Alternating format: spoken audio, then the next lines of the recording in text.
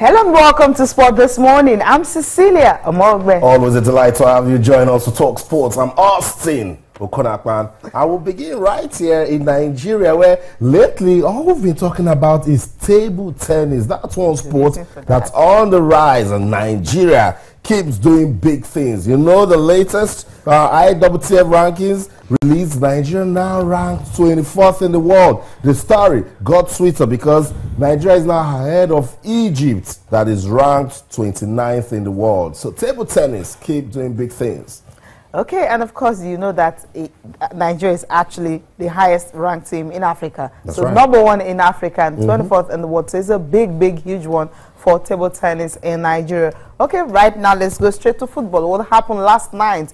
Well, the first two are into the quarterfinals. You have, of course, Real Madrid, a team that have won it 12 times, and Wolfsburg for the first time getting into the quarterfinals of the UEFA Champions League. But for Real Madrid, well, analysts are saying for them to actually win the title again this season, they will have to fix their defense. Hmm, That's what it is. Very, very important. So Real Madrid, uh, for sure, it's looking like they're going to go through. And then Wolfsburg also advancing. But uh, tonight, the story, uh, we continue the UEFA Champions League with Chelsea and PSG. Cecilia, no, no, tell me, where put your money?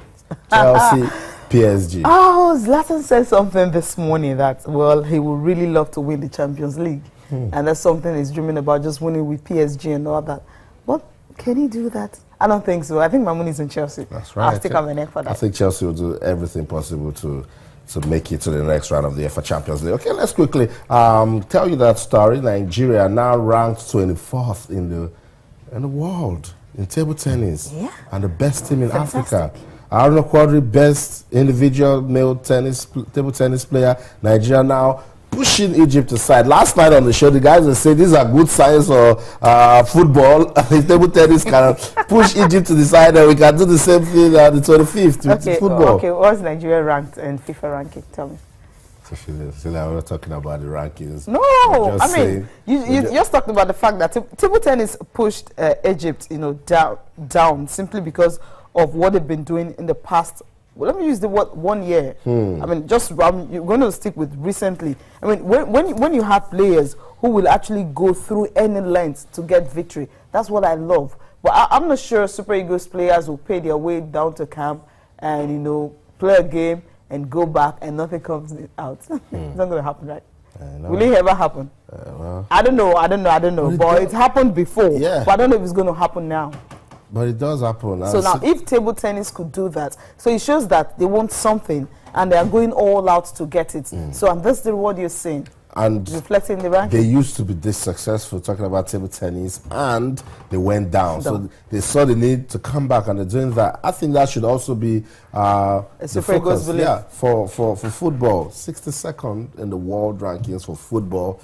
Isn't bad, Cecilia. It's football, remember. It's it's it's more Okay, competitive. when- when- when than you table say- tennis. no, no, But I understand where you're coming from in terms of administration. Table tennis has been stable. Table tennis, they have focus. They've been doing so much for grassroots development. We see a lot of competitions. Yeah, football does that also. But what I want to take out of this is we're going to play Egypt on the 21st, in- on the 25th in Kaduna. If table tennis can push Egypt aside, football should do the same. That's good motivation. Okay, okay, uh, okay. Let, let me just uh, uh, accept that. Uh, Sarah, please, I that's- want you to I- I'll just uh, accept that. Uh, it's, it's, it's just that you know when when you look at Nigeria and you look at what's happening, you look at other sports and you look at the focus of certain sports, you think the, the kind of attention that is being given to that particular sport, the Hmm. kind of money that is being pumped in, it should reflect, but it's not Yeah. reflecting. Well, for not just only the men, I mean the women also had their ranking. Right now they are ranked 40th in the world. Well, uh, literally go down. I mean, this is not really good. Uh, Egypt in women ranked 29th, and for Best the men, of course, for the women 40th in the world. This is simply because they didn't go to Malaysia. Maybe if they had right. Mm-hmm. gone to Malaysia, I mean, the ranking would have been higher. So they had to go down to 40. They're even ranked higher than the men in Nigeria. In, in what? In what? Cecilia? No, but, what, but but again, on the rankings, um, is, still the is, second is a, in yeah, Africa, yeah, still the best, the second best in Africa. It's, another reminder that we need to do more for uh, female table tennis in Nigeria. We listened to Orok Duke uh, the other day, vice president of the Nigeria Table Tennis Federation, and he's saying the same thing that look, the talents are there, but we need mm. more support. It even goes beyond supporting players. He mentioned coaches. You know, he also talked about developing more talents. Yeah. If the likes of Vivian Okul, the nursing competition, Esther Ariba Michelle, the nursing they competition. Just were there. Um, what's, what's the younger? Ayobami, Anima Shaun, they're not playing games. Where, where, the, what does the future hold for them? Very, very important. So this is a good one uh, for us. Let's see.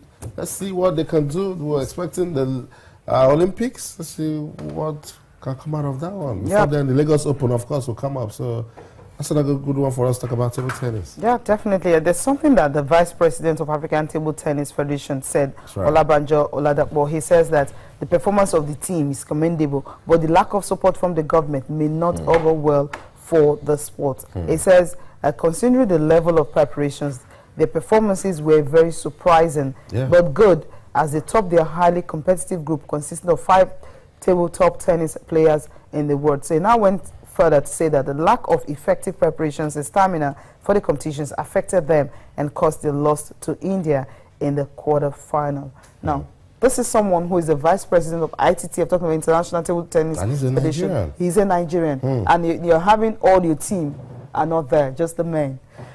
Well, okay, uh, let's go straight to That's Joseph Yobo testimony yeah. is coming up, okay. right? Yeah, they're planning the testimony from our Super I don't like the dates. Twenty seventh. Why? That, that, well, that's that's my concern. Uh, a lot of things. I mean, to Cecilia is an action-packed world of sports. A lot of things will be happening uh, on the twenty seventh of May. One of them, the Channels National Kids Cup final. But but yes, what does there are a lot of lessons out of this testimony that they have decided to organize for Joseph Yobo. We keep saying it that don't let our players leave unceremoniously, particularly those ones. Instagram you know, and Twitter. Are, this man led the team to win the 2013 African Cup of Nations in South Africa. Uh, about 100 caps for the country. He appeared 100 times wearing the jersey of the senior men's national team then you should get some honor. So uh, they've come together, ex-internationals and his teammates. He played with Kanu, he played with JJ Okocha, um, Coach Amadou Shuaibu at some point coached him. Austin Eguavoen was also uh, present. Uh, there was Christian Chuku, uh, his teammates. Ifeanyi Udeze was there. Of Fanny course, Amu. Fanny Amu, Aisha, Aisha Falode. You know, a lot of people came out to say, look, we should be doing this for our ex-internationals. So, so the ones the ones coming up we not see oh that oh you know there's nothing in for me. That's there's right, nothing you know, to give. that's right. So yeah. it's very encouraging. It's really really encouraging. I just want to see the personality that would definitely want to play that game. I had Rooney yeah. lots of Rooney we, Drogba. Joseph Yobo was trying to keep it keep it you know quiet and then we we, we pushed him. And said come on tell us who are, who are the big names we're expecting? And I said okay Wayne Rooney will be around we listened to um, there, there was a video recording from Kolo Toure. Uh, he actually said Potako It's coming to Potako. I don't know where that is in Nigeria. But Kolo has confirmed that yeah. he will be around. Uh, he mentioned Wayne Rooney. He mentioned David Moyes. David Moyes. Remember, Joseph was the first player David Moyes signed mm, when he was coach at Everton. Everton so yeah. they've got he's got so much love for Joseph Yobo. Joseph was said, hey, the coach will be around also, and of course, he said Didier Drogba. Didier Drogba will be around, and it's going to be the world. Is Samuel Eto'o coming? Of course, it will come because I remember so during Kanu testimonial, yeah. most of them were also around for mm. for him. I think I actually love it. You know, first it was Kanu Nwankwo, and now we're right. having Joseph Yobo. Mm. I wish Vincent Enyeama can come back because I'm still very much Okocha, missing him. Yeah, Okocha, of course, in Delta State. Mm. I remember it rained heavily that day. but in Port Harcourt, definitely going to be wonderful. That's right. I think we just can't wait for some of those players who resign on Twitter and Instagram. you know, just come back. I mean, play two or three games for Nigeria, mm. and when you do that, then you can now, you know retire peacefully, call a press conference and you're leaving, then we'll also have a testimonial for you guys. That's right. Because from the way it is now, I don't know if they're going to get it except their club will organize for them. No, but sometimes these players don't even look at these, you know, like. Um, but sometimes it's very, very important. Very important, particularly with when the national team. 100 cap for a national team. How many players get that? You should be celebrated. I was was tied with Vincent Enyeama before Vincent Enyeama made 101 uh, caps. And um, just imagine someone that has played 101 times for his country, not celebrated got, res- got a goalkeeper resigned, at that. I'm like resigned on, on social media and then it's just going to be forgotten that way. I think it's no. Not, he like, announced like that said. he's quitting on Instagram. Say it like that. Well, well, on social media. so, so, still, I agree with what you said. Um, those kind of players yeah. should be celebrated. Mm-hmm. They have a story to tell. Mm-hmm. They, they have a lot of. There's no way you can talk about the history or what Nigerian football has been through without mentioning mm-hmm. those sort of persons. So they are valuable materials for you know, football in Nigeria. So we shouldn't just lose them uh, that way. I was so pleased when I saw Kanu was there. Austin Okocha was also there. Oh my God, Christian Chukwu, Henry Wosu was there. You know, Taribo West, Joseph Yobo Look, that's my mentor right there. I learned a lot from Taribo West. You know, and it's heartwarming. You know, when you still see the lot.